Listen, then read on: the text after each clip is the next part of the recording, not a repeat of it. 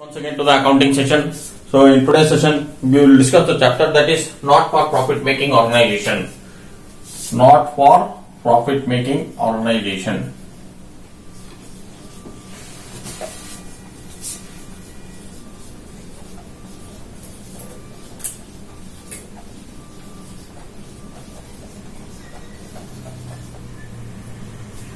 Accounting for.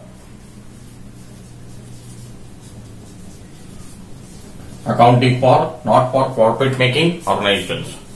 So what are these not for profit making organizations? These not for profit making organizations are the institutions or charitable trusts which are formed for the welfare of the society. Here the intention or the motive is not making profit but to provide services to the society as whole. So why this accounting is necessity for not for profit making organization. This is a very important question which should come into the mind of the students. For providing service to the society why one should account for? So what happens is in the business concerns or in the trading concerns normally the businessman will or the owner will invest his own capital at his own risk so, in case if he is not maintaining accounts also, with a little bit of fine, the concerned authorities may uh, leave that. But in case of not for profit making organizations, it is obligatory or compulsory to maintain the accounts because it's not his money. So, the trustees are there to look after the administration of not for profit making organization, but the money is donated by the general public in the form of donations and the members give money in the form of subscriptions to the running of smooth functioning of not for profit making organization. So they are accountable to the persons who have contributed towards the uh, development of not for profit uh, making organization to uh, satisfy a certain goal or to reach a certain purpose or to make available certain facilities to a certain group of people like some may uh, some organizations may focus on sports clubs some may focus on charity some may focus on education or some even may focus on orphans to orphan uh, children and some others may focus on old people. So it depends on what is the motive of the non-profit making organization with which motive it has come to existence. So this is the reason why we are supposed to account for. So before accounting for, we, we are supposed to understand certain concepts which are very important to uh, account for a not for profit making organization. So the concepts are as follows. First one is capital and revenue.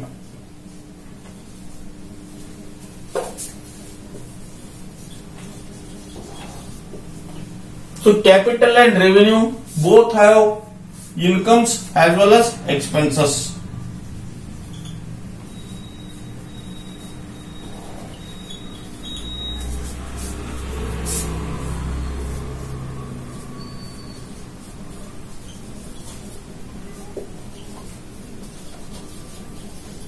Now let's basically understand what is the difference between the capital and the revenue. Uh, we will understand it by uh, learning the features one by one. First feature is capital is non-recurring in nature.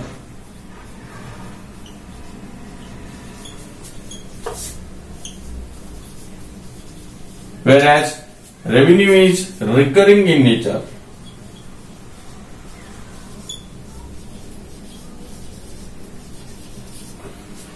So non-recurring means what? Non-recurring means it will not come again and again. It will not appear again and again. Whereas recurring means it comes again and again. For example, let us take some examples of non-recurring income. Non-recurring income.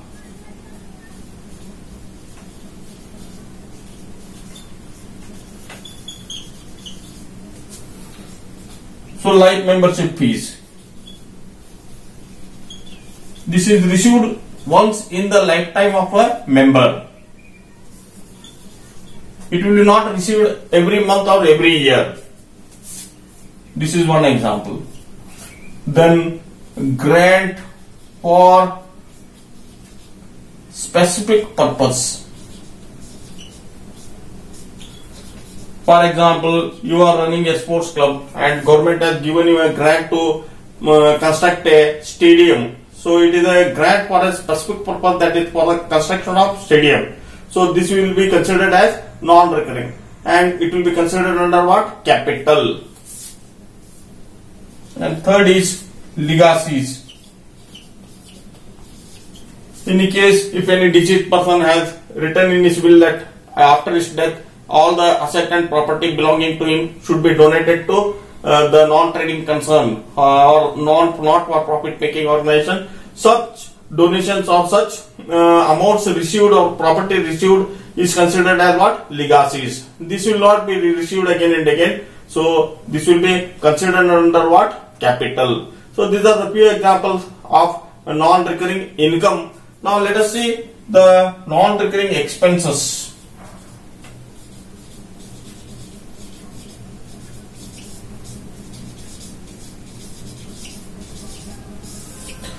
Non-recurring expenses are like purchase of any fixed asset, like purchase of furniture or sports material, sports material, sports materials or X-ray machine.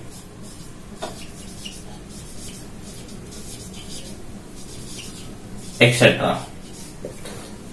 So this is one of the examples. And you may purchase books for library. Or you may uh, construct building. You may spend some money for the construction of the building. So these are the examples of non-recurring incomes and non-recurring expenses. Coming to revenue. Revenue incomes and revenue expenses here we have studied that it is recurring in nature. Recurring means which occurs again and again. For example, you are supposed to pay salary every month, rent, general expenses, etc. So now the no, recurring incomes are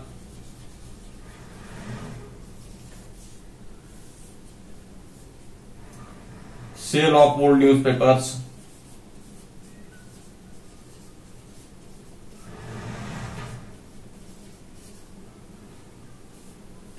then rent received if rent is received, interest on investments or FD,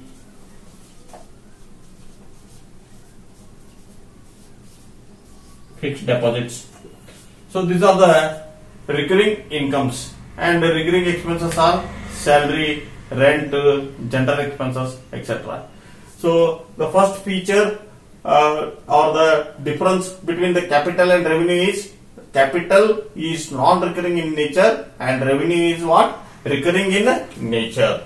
So you hope so that you understood the difference between the capital and the revenue. So here it does not occur again and again here it occurs again and again. So here we have seen some of the examples of non-recurring incomes that is like membership fees, grant for specific purpose, legacies, etc. And non-recurring expenses like purchase of furniture, sports material or X-ray machine, etc. And purchase of books by a library.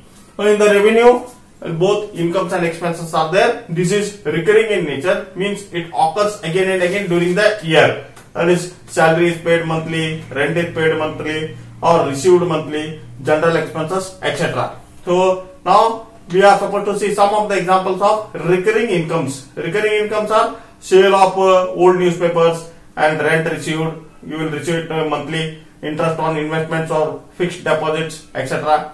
Whereas expenses, recurring expenses are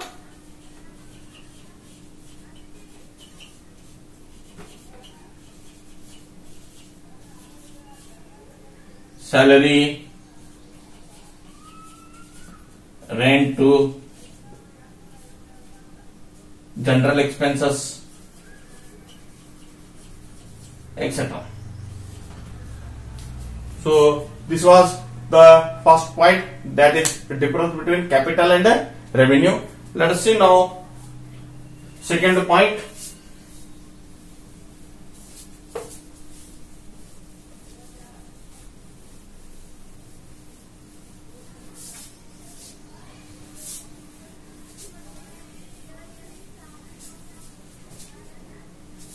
This capital leads to leads to value addition. Whereas revenue does not create any value addition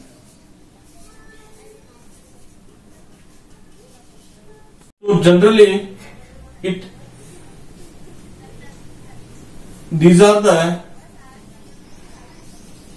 expenses which are incurred to maintain the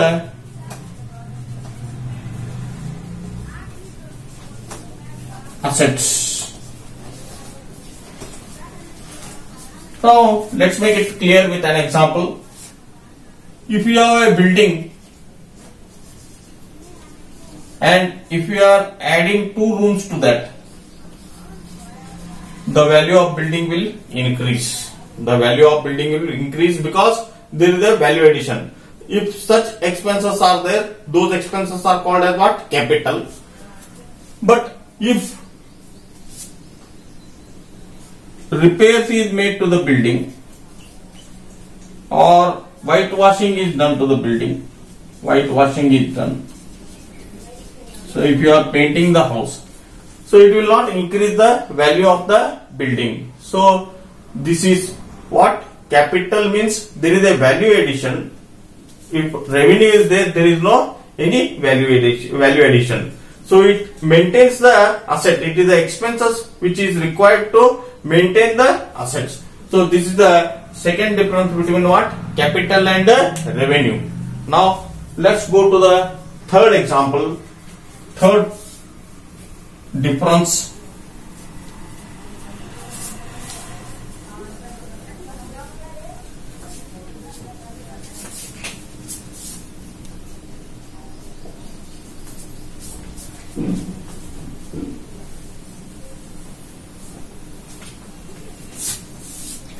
capital involves huge amount.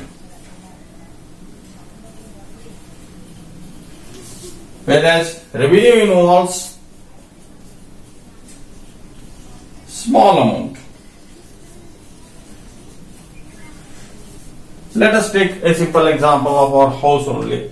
If you are using the households like uh, groceries or if you are purchasing vegetables these are all the recurring as well as uh, with no value addition. And along with that it involves what? Small amounts vegetables etc whereas capital involves what? Huge amount. Like if you are purchasing refrigerator ac or else vehicle for your household purpose.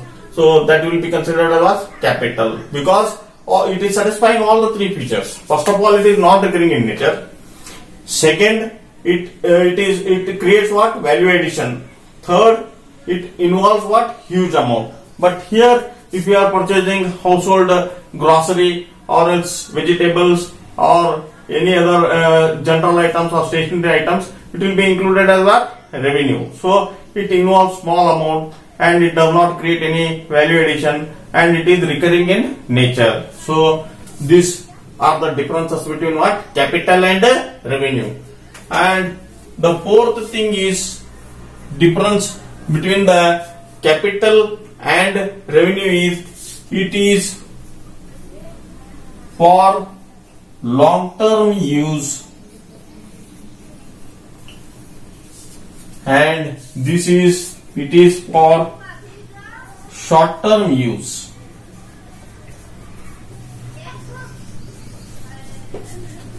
So remember that capital expenses or income will be for long term but this one revenue will be for short term. So these are the basic four differences between the capital and revenue. If you remember these four differences you can easily decide what is revenue and uh, what is capital what is uh, capital expenditure or what is capital uh, income and what is revenue expenditure and what is revenue income? So let us now discuss the next thing which is very important for understanding this chapter. That is difference between receipt and payment account and income and expenditure account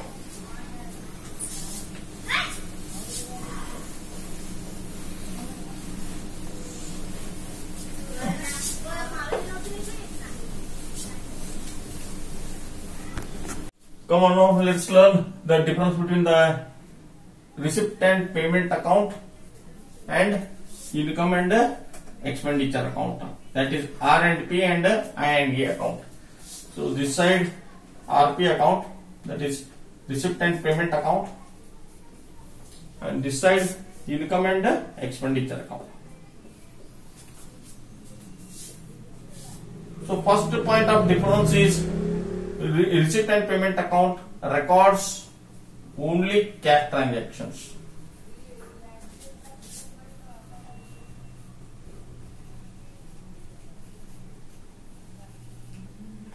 Whereas income and expenditure account records both cash as well as it records both cash and non-cash transactions.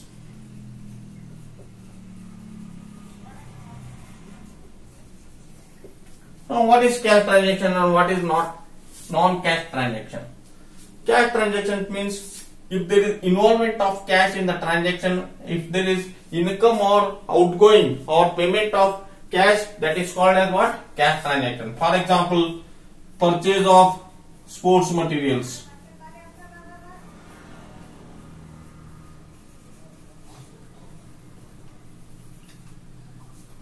Payment of salary.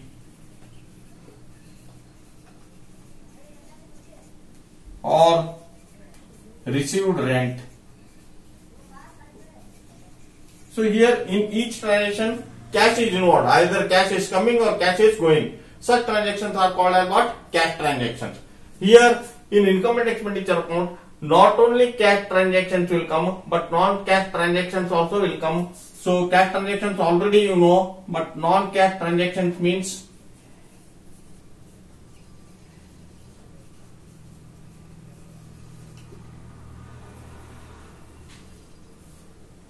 outstanding salary, salary is due but you are not yet paid. Then outstanding subscriptions, subscription is due but you are not received the subscription amount. Depreciation, loss on sale of asset,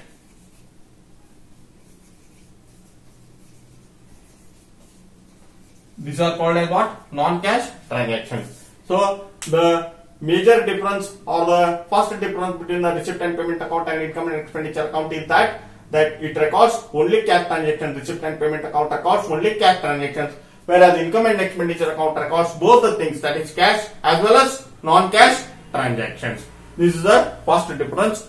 So let us see the second difference between the receipt and payment account and income and expenditure account.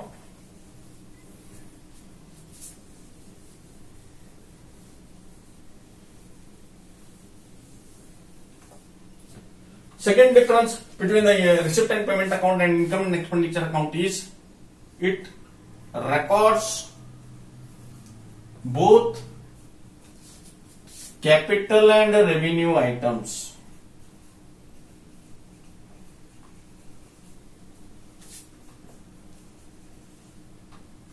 It records both capital and revenue items. Whereas income and expenditure account records only revenue items. So, second difference between the receipt and payment account and income and expenditure account is it records receipt and payment account records both the capital as well as revenue items, whereas in income and expenditure account only revenue items are recorded. Now, as I have discussed previously, what is capital and what is revenue. So, you might have understood the concept. So, if you have understood that concept, here in receipt and payment account, capital and revenue both the items will be coming here, whereas in income and expenditure account, you will not record capital items, only you will record what revenue items because income and expenditure is as good as profit and loss account for trading concerns. Now, let us come to the third point.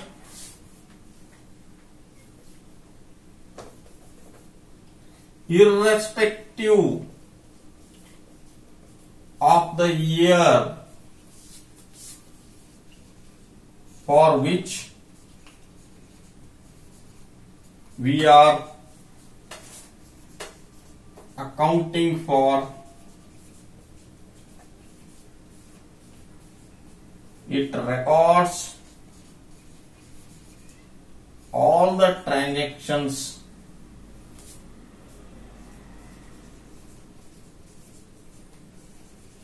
of past years previous years as well as ensuing years.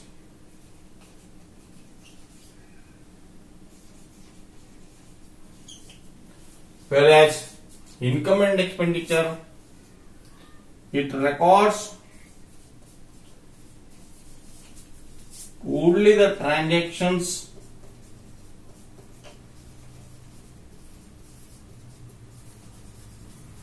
of the year for which we are accounting for. So let us understand this concept now. In receipt and payment account, it will not only record the transaction of the year for which we are accounting for. It will also record the transactions of previous years as well as the succeeding or ensuing years. What does this mean? For example, if we are supposed to receive subscriptions of year 2012 or 2015, if you have received that in the year 2020 for which you are accounting for, but still you will record that in the receipt and payment account of 2020 though it is not related to 2020 it is related to 2012 and if you have paid advance rent for the year 2021 but still you will record that in the receipt and payment account on the payment side though it is not concerned to this year. But in income and expenditure account it is not so. You will record the transactions of the accounting year for which we are accounting for. Nor the previous year nor the ensuing year. So simple here one example i will show you. 2020 we are accounting for 2019 and 20 so here in receipt and payment account if you have received any amount of 2018 in the year 2019-20 it should be shown on the receipt side of the receipt and payment account. And if you are paying rent of year 2021 you will show it on the payment side of the receipt and payment account. Whereas in case of income and expenditure account you cannot do so. The transactions which are either relating to 2022 or 2018 19 17 whatever it is. So if you are uh, this is the third difference between what receipt and payment account and income and expenditure account. And the fourth difference is receipt and payment account is prepared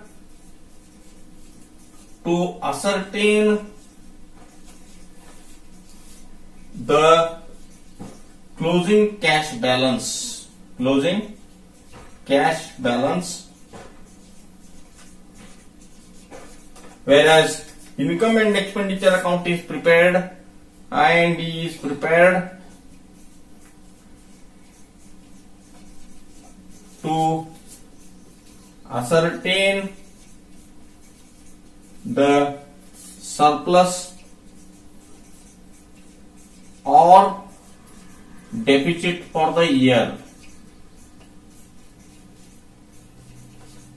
Surplus means if the income is more and expenditure is less, it is called as surplus, and if the expense is more and income is less, it's called as what?